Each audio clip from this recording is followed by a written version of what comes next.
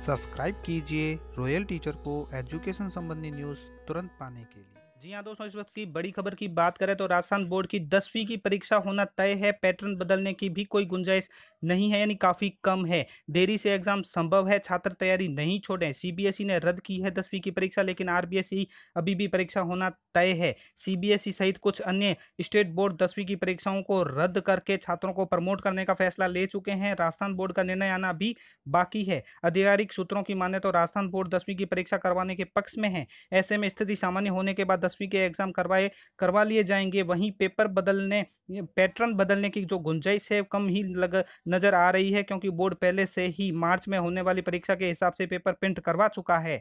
Paper बदलने से board पर फिर से करोड़ों रुपए का आर्थिक भार आएगा। दसवीं की परीक्षाओं का करवाने को लेकर बोर्ड ने राज्य सरकार को प्रस्ताव भेज दिया है। अब राज्य सरकार और माध्यमिक शिक्षा बोर्ड परिस्थितियों के सामान्य होने का इंतज़ार कर रहे हैं।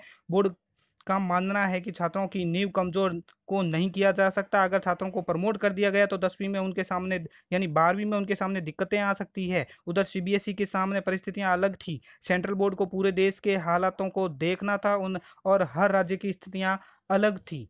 साथ में अगर स्थितियाँ सामान्य नहीं हुई तो ग्यारहवीं में भी बोर्ड संभव है। बोर्ड बोर्ड ने सरकार से काफ़ी ऑप्शन दिए हैं। अगर हालात सामान्य नहीं होते हैं तो ग्यारहवीं में बोर्ड हो सकता है।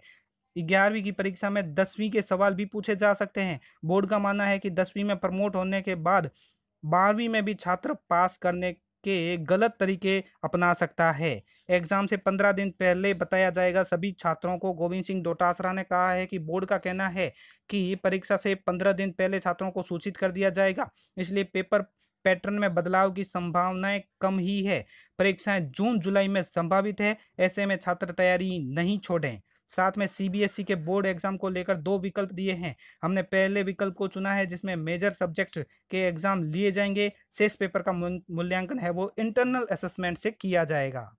साथ में दोस्तों बात करते हैं विशेष आवश्यकता वाले बच्चों के लिए शिक्षा विभाग उपलब्ध करवाएगा ई कंटेंट राजस्थान स्कूल शिक्षा परिषद की ओर से मंगलवार को कोरोना काल में विशेष आवश्यकता वाले विद्यार्थियों के ऑनलाइन शिक्षण व्यवस्था व आवश्यक ई कंटेंट उपलब्ध करवाने को लेकर वेबिनार का आयोजन किया गया। परिषद के राज्य परियोजना निदेशक भंवर सिंह लाल, यानी भंवर लाल ने कहा है कि विभाग को दिव्यांग को शिक्षा हेतु कार्य करे समय सेवी संस्थानों के साथ मिलकर ऐसी योजना बनाए जिसे कोरोना काल में दिव्यांग विद्यार्थियों की शिक्षा में कोई गतिरोध उत्पन्न न हो तथा डिजिटल, विभाग डिजिटल माध्यम से दिव्यांग विद्यार्थियों के शिक्षण का कार्य निरंतर जारी रखे ताकि वो समाज में मुख्य धारा से जुड़ सके।